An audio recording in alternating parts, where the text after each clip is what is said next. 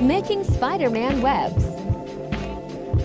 Only $7. Wrap one wire around the other wire until you get your desired looking webs.